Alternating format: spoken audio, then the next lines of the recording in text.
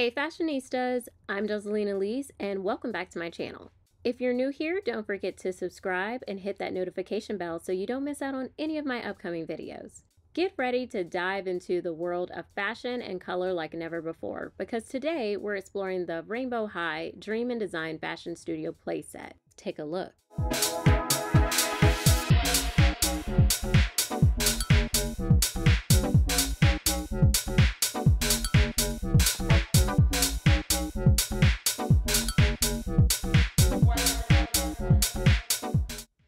To begin, let's examine the lovely doll included in the playset. Her name is Skyler Bradshaw, which is clearly displayed on her shirt, and she is exclusive to this set. So far, I'm impressed with this version. Her curls are looser, and her makeup look is stunning. The choice of the lip color was excellent, and the fact that her earrings are safety pins are so fun. Skyler is wearing a blue mock neck top with a denim miniskirt and a pair of stiletto boots that have her last name on them. A comb and doll stand were also included in her signature color.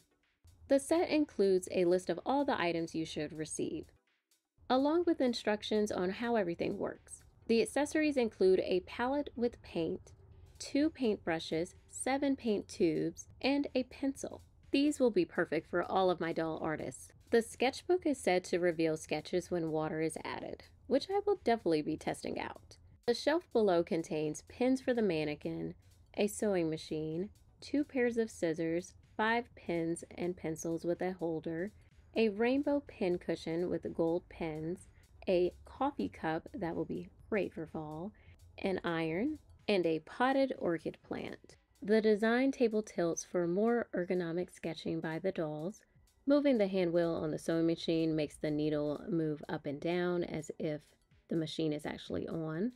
While the wheels on the mannequin work well out of the box, the design table's wheels don't have the same effect. But I'm fine with that, as I don't want my table slipping and sliding around.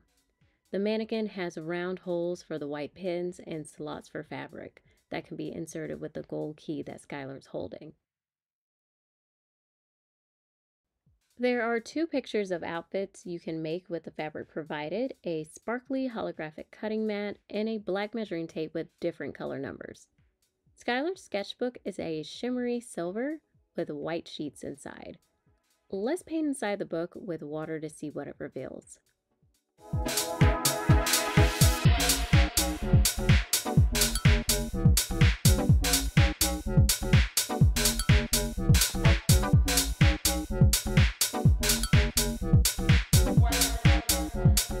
I appreciate that the set includes a full concept for hair and jewelry, not just clothes. This was a nice reveal.